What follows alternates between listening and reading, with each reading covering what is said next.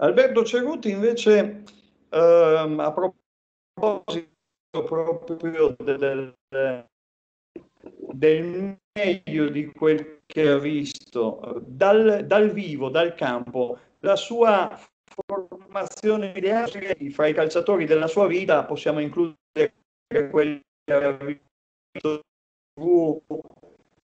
quando non ancora lavorava, insomma, possiamo partito dallo stadio eh, da bambino, la prima che ha visto dalla tv magari, è la prima, eh, è la prima scritta da, eh, da giornalista, se ricorda quel che ricordo.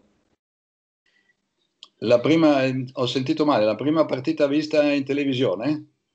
Sì, la prima vista da bambino in tv, la prima vista dallo stadio eh, da bambino sì. e la prima invece scritta da, da, giornalista o seguita da giornalista, insomma magari mh, in altri tempi si andava in due, in tre, poteva capitare di non scrivere tutti magari. Le, Beh, le, sue prime. Ecco. Le prime partite che ho visto uh, da, da, da, bambino, da ragazzo, sono state quelle eh, in bianco e nero dei mondiali del 1966, eh, quindi con la disgraziata eliminazione dell'Italia eh, che perse con la Corea del Nord ai mondiali del 66. Allo stadio sono andato per la prima volta accompagnato da uno zio era il marzo 1962 a vedere Milan-Padova eh, 4-0. Era il Milan che eh, vinse lo scudetto con il grande Nereo Rocco in panchina. E poi da giornalista ho cominciato a seguire le partite eh, di Serie C, poi di Serie B, eh, la cosiddetta gavetta. Eh, ricordo mh, in particolare la prima partita di Serie A eh, che ho commentato è stata una partita di fine campionato, eh, Napoli-Milan, eh, ormai non, non, una partita senza alcun interesse, però il fatto di poter andare a commentare una partita del Milan in trasferta a Napoli fu una grande soddisfazione. Certo. Invece il top 11 allora de- della sua vita fra i calciatori?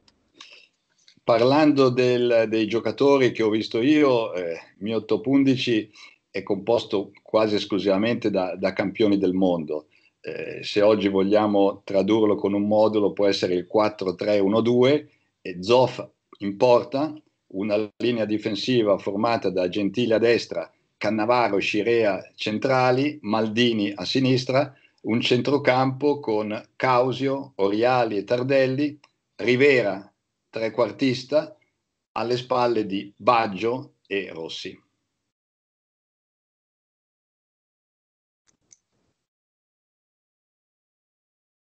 Mm-hmm. Ma non mettiamo, non mette nessuno straniero? No, ho fatto una formazione di italiani, volutamente ho scelto tutti italiani. Mm-hmm.